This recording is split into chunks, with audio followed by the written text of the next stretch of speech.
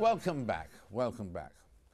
Well, Argentina is in mourning right now, following the sudden death, which you may have heard about, of course, of Nestor Kirchner, President Cristina Kirchner's husband, and himself her predecessor as president. Mr. Kirchner was expected to run again in 2011 in the presidential election. And now the question is, what impact will his death have on Cristina Kirchner's ability to govern? And will she try for re-election? Joining me now to talk about that and also her recent meeting with Fidel Castro, uh, joining me now is the Director for Latin America Studies at the Council on Foreign Relations, Julia Sweig. Welcome back, Julia. Thank you very much for having me, Sir David. It's a joy to have you with us. The uh, you heard the shock news, shock news to to everyone. Um, do you think that in Argentina that Cristina can run the run the country without the very very important help she received from her husband?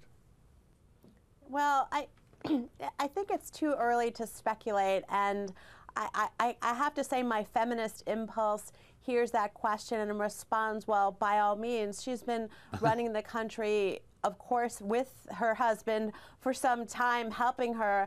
But my guess is that um, this has the potential either to open up politics or to solidify her standing. And I think only time will tell how that unfolds. There's a history of, of, of women running Argentina in the wake of their husbands' deaths, after all. I'm thinking here of yes. Evita Peron. Um, Kirchner, on the other hand, Cristina has served as president uh, for some time now. So, so I don't think there's any reason to assume that this would seriously undermine her. Although it could the it could their party and it could bring a more diverse political environment uh, to Argentina in its wake.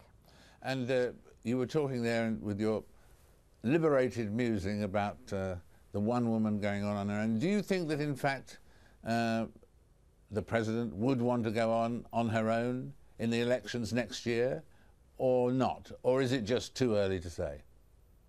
Well, I think it's too early to say, but I, think one observation I, I would have as a historian and a political scientist is that people don't easily walk away from power and the presidency um, if she has the opportunity to uh, stay in politics. My goodness, why wouldn't she? Talking of the end of political careers or political careers that go on indefinitely and so on, um, how did you come to have your reunion, your re-meeting um, with Fidel, Fidel Castro? It was a couple of months ago. Was it planned for many, many months and many, many years? What happened? No, David, not for many years and not for many months. I was planning to go to Cuba in August. I go there a couple of times a year. And um, Fidel Castro the previous month, over the summer, made his first public appearance, gave a speech in the National Assembly about his worries about conflict and escalation in the Middle East. And just after that, my friend Jeff Goldberg, a journalist with The Atlantic, published an article called The Coming War. I think that's the title. And it was also about the Middle East and Iran and the potential for nuclear conflict. Fidel saw the article. I um, got a call asking if I could help track down Goldberg. Goldberg's a friend of mine, and it all came together very quickly. Uh, we went together, and what was to be a trip independently of mine without seeing Fidel Castro turned into a few days of interviewing him with Jeff Goldberg. Goldberg then left, and I spent a couple of more days uh, talking with and um, spending some time interviewing Fidel Castro myself. And uh, how did you find him in the sense, is he, everyone wonders about his health, is he in pretty good health at the moment? I, thought I found him to be in extraordinarily good health, and, and he talked at great length actually about the um, physical odyssey he's experienced of the last four years since he became sick. Um, he is recovered. He is um, eating, drinking, sleeping, walking, talking, writing history, uh, entertaining, visiting guests again, something that he used to do when he was president. And by entertaining, I mean sitting for long hours and talking about history and politics and the world. And I found him to be in very, very good form. And in terms of the quote we've heard about him saying here, the Cuban model doesn't even work for us anymore. Does he feel that, do you think? Well, it's always it's always tough to to talk about what people feel, but uh, you know. That quote was reported around the world and made a big splash. But the truth is, as I follow Cuba very, very closely, the, the ineffectiveness and non functionality of the Cuban model for Cuba has been something that Fidel, before he stepped down, and then his brother Raul, now president, and everybody top to bottom in and out of government in Cuba has been talking about for years. The economic model doesn't work, and in fact, his brother Raul Castro, the, now the president, is in the process of attempting to change it. So, does Fidel feel that it doesn't work? I, I, I suspect he does. He said it. Now, however, as you know, a week after we were there and made that, and, and Jeff reported that quote, Fidel made a second public appearance at the University of Havana saying, I was quoted accurately, but I was misinterpreted. And then he went on to say, David, um, in, in so many words, just because we may change our model doesn't mean we're going to import theirs, meaning the American capitalist system um, which is a valid thing for him to say given the 50 years that he's been uh, stating that the American capitalist system wouldn't possibly work for Cuba. That was said for domestic consumption, understandably so, as Raul undertakes to push aside or maneuver around vested interests who are pre prefer the status quo, but the status quo no longer works. And I think that's what everyone's just talking about there. Thank you, Julia. Thank you for all your insights about life, and love, and the world. We're always having a joy of talking to your good self. Thanks a million. Lovely to see you, Sir David. Thanks so much. And now, it's one of the iconic designs of the 20th century. It's cheap, powerful, easy enough for a child to use, light enough for a child to carry, and it's virtually indestructible. A perfect toy, you might think, but no.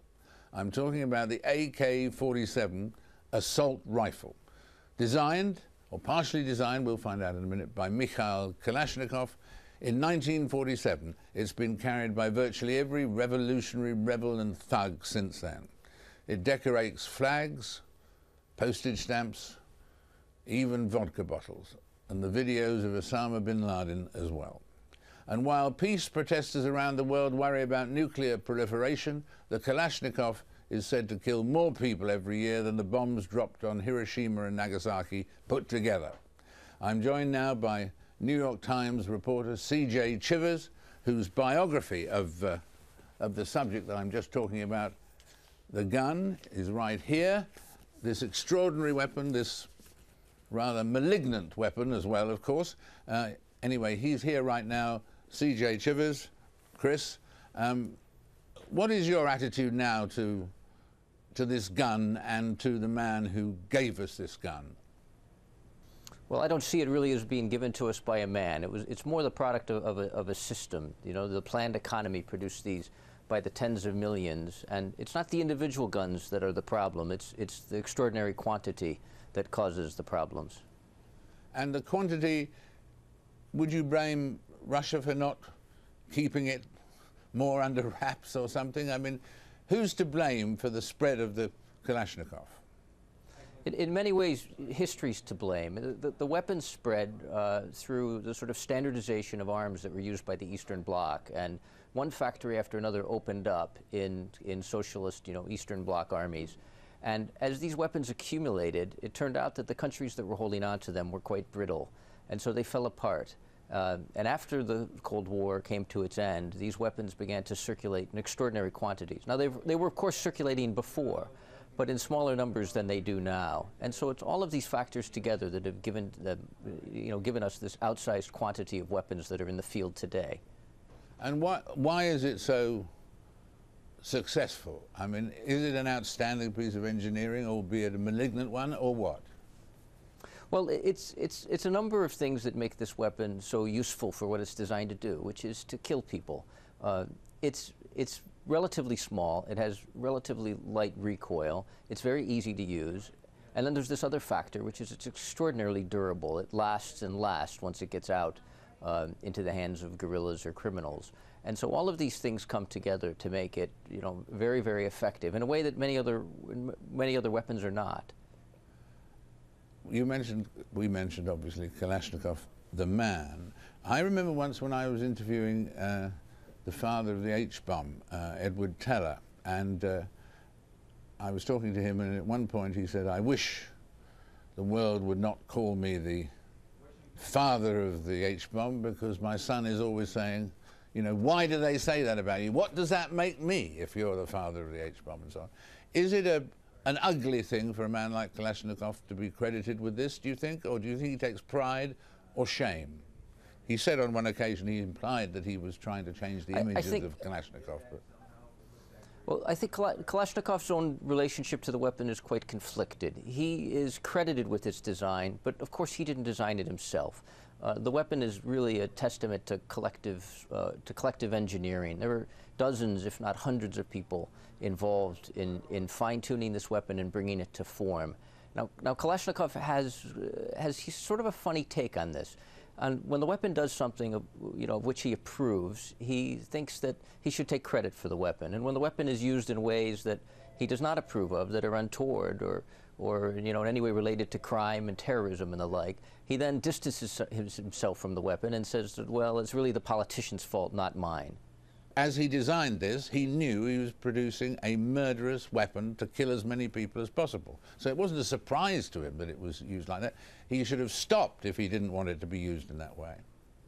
Well, you know, you could take any one person out of this equation, and this and this rifle probably still would have been brought uh, into existence. This was again a collective effort by a design bureau and by a sort of constellation of designers and industrial enterprises in the Soviet Union that, that brought this thing forward. So to, to burrow down on any one man and not recognize really that this is the product of a system, I, I think is to sort of misplace both the origins of the weapon and the responsibility for its proliferation. Thank you very much, Chris, for joining us. We appreciate it. Thank you. And thank you for having me, David. And that's it for this week. But please do join us again for much more Frost Over the World in seven days from now. Bye for now.